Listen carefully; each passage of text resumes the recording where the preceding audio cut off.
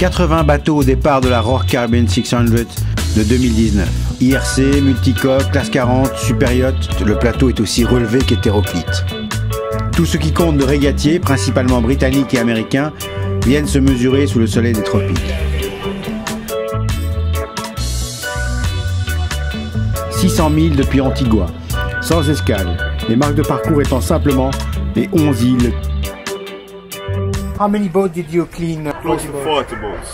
Maxis, the 72s we have to do every day. We work with one hand and the other hand follows. We had a week of emergencies. Proteus, one of the 72s, they lost their mast. So we had to go and search and recover. And third one went in, inflate the bags, bring it to the top. It's not as easy as I am, I'm, I'm talking. In 15 feet swells, very rough. So with a team of eight divers, you have Kevron. Hi. That's Kevron. Then you have Jermaine. Right. This is Little Maurice. he is Opti Sailor. He's preparing to go to Chile. Le gentleman Giovanni Soldini fera décaler le départ de quelques heures pour que Argo, victime d'un retournement à deux jours du départ, ait le temps de réparer. On fait un chantier chaque six mois. Deux sur le banette et une par terre. Bah, les records c'est 33, 32, 31 heures, 32 heures. Ouais. Donc il faut faire 29. T'as plus de contrôle du bateau. Si tu mets les flaps euh, en négatif, le bateau il cabre comme ça. Donc avant de faire un abatté, par exemple, tu mets les flaps en négatif.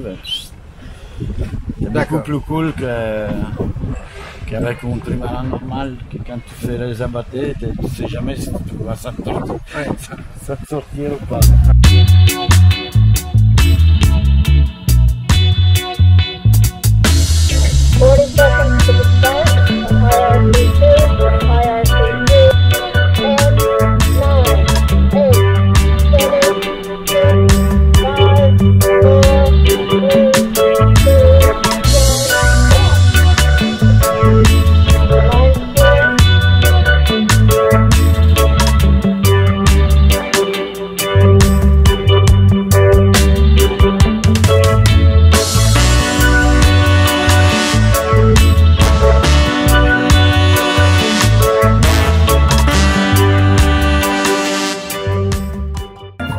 Victoire finalement de Maserati pour 7 minutes.